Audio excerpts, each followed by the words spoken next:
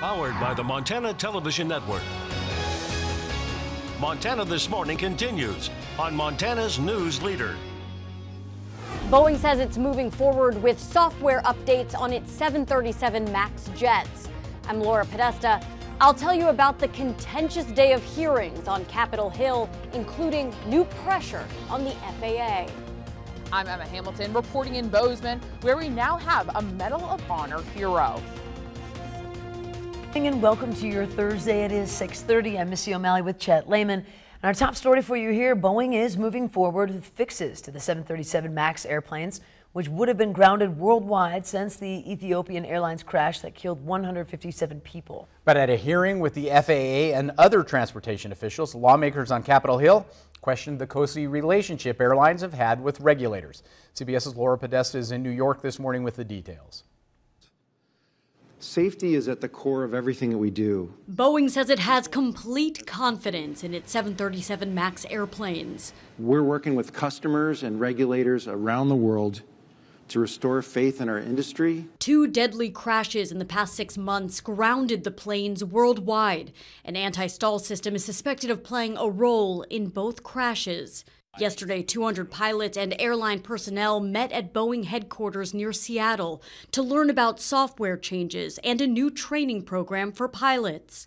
To get their input and to earn their, their trust. Are they too cozy? In Washington, D.C., lawmakers expressed deep concern over the relationship between the airline industry and government regulators. Overconfidence breeds complacency. The FAA decided to do safety on the cheap which is neither cheap nor safe.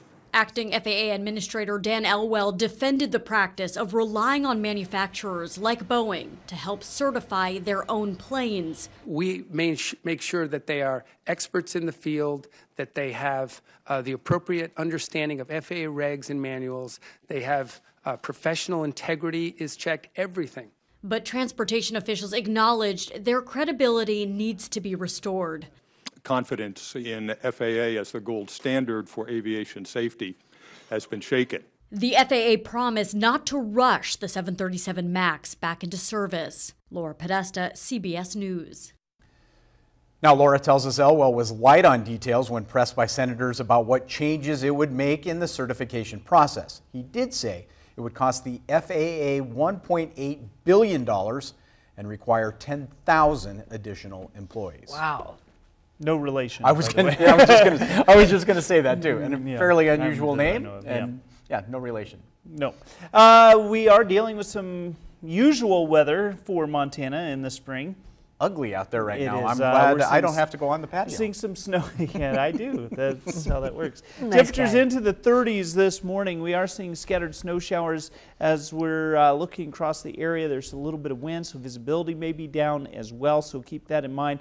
We may start to see some roads uh, get a little on the slick side at times this morning, both east and west of the divide. We'll talk about how this day is going to shape up and what your weekend looks like. We'll, of course, talk more about that from the uh, Billion Auto Weather Patio in just a few minutes. Thank you for that, Matt. It is now 6:33 and a fantastic story for you here.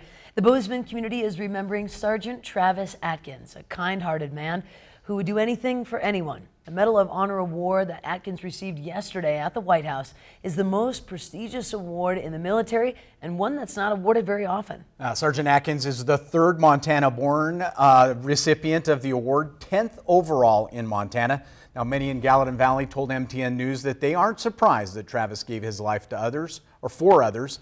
That's the type of person he was. MTN's Emma Hamilton caught up with one of his childhood friends who says Atkins was a hero even before he joined the Army.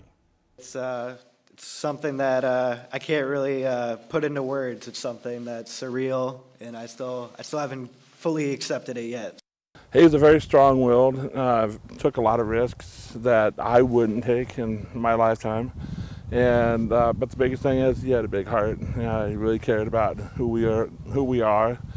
As a kid growing up with a hearing loss, that was made it really easy for me to be able to become friends with Travis because it was tough for me to be able to go make new friends. But Travis had no problem. He didn't see the handicap. He saw me as a person. Having Atkins as a friend meant more to Krogstad than Atkins ever knew. Since the third grade, up until the time Atkins deployed the first and second time, they were the best of friends.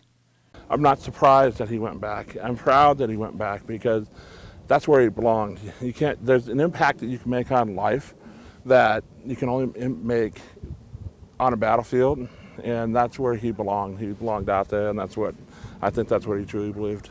With tears in his eyes, Krogstad reflects on their friendship and the time they spent in the mountains together.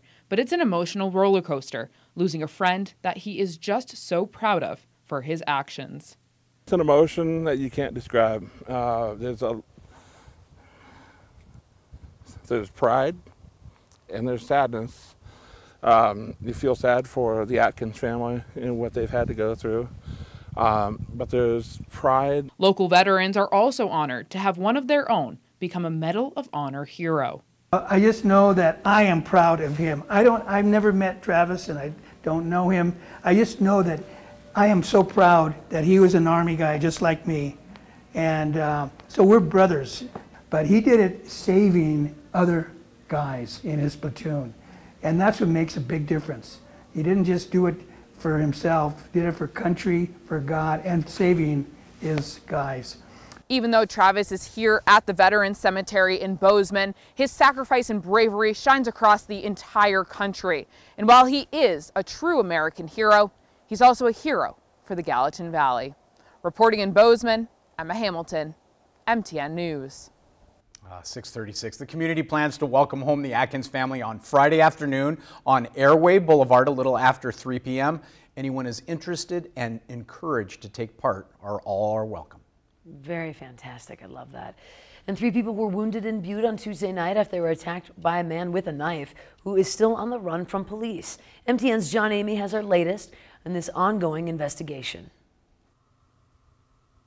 Butte police are looking for a man suspected of stabbing three people during a disturbance in the parking lot of an uptown convenience store late Tuesday. Butte police claim a man in a white car began harassing two men from Anaconda as they were walking into the store. He continued yelling at the men and challenging them as they left the store, and then a fight ensued. Clerk from the store then uh, went out to the parking lot to break it up. He was subsequent, subsequently stabbed, as was two of the uh, two other victims. The man with the knife ran from the scene, and a woman who was in the suspect's car drove away south on Montana Street, leaving the three wounded men in the parking lot. They took themselves to the hospital or had someone else drive them to the hospital. We were able to speak with them at the hospital. Uh, they were treated and then released. Police were still investigating the incident Wednesday. Reviewing videos uh, from the parking lot and videos from the store and casino. Investigators still do not know why the suspect targeted the victims in this violent attack. Uh, they went to the store. Uh, this guy began harassing them. They did not know who the person was. Uh, that's their statement to us. Uh, so we have no idea right now uh, what we're dealing with or why this male may have challenges to the fight. Now, police described the suspect as a white male, about 5 foot 10 inches tall and about 150 pounds, and wearing a black jacket at the time. In Butte, John Emeigh, MTN News. Now, police say all three victims have been treated from the hospital and released.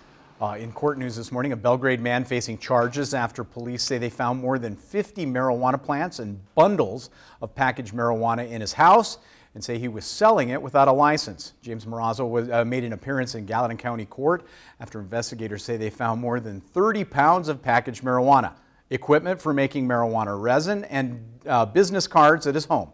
Medical marijuana program inspector told Belgrade police that Morazzo was processing marijuana and had contacted her office to ask about obtaining a provider license. When officers searched his home, they found a growing operation throughout the building and on the outline of a business plan. Morazzo's bail set at $10,000. And here's a good one for you. A student at Sacagawea Middle School in Bozeman just got back from re reporting at a gig for the Kids' Choice Awards in Los Angeles. She's going to take our job. 13 year old Ruby West is a reporter for Time for Kids and writes articles for the nationally published magazine. She was able to interview Nickelodeon celebrities all of last week on her spring break. Ruby says she enjoys being a journalist. Well, I love asking questions to people. Like, I just like, I'm curious, very curious. And um, uh, reporting just gave me an excuse to just go up to people and ask questions, and it's really cool. I think that's a pretty good That's policy awesome, on that. Now, Ruby says when she grows up, she'd like to be a journalist, a surgeon, and an astronaut. And on Monday morning, we have Ruby live with us here on the morning show.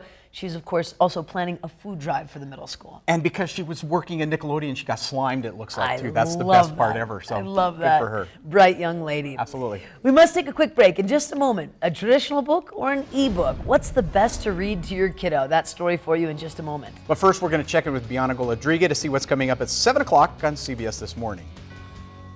Good morning. Ahead on CBS This Morning, Boeing promises fixes and additional training for pilots of 737 MAX planes. Hear from one airline 737 fleet captain about the proposed changes. And only on CBS This Morning, how the Army is using video games and esports to recruit the next generation of soldiers. See you at 7.